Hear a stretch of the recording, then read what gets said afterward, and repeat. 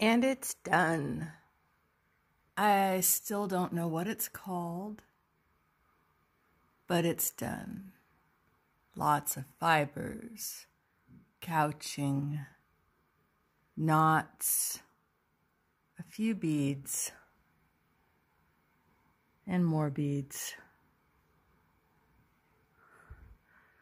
Wonky cut, hanging threads.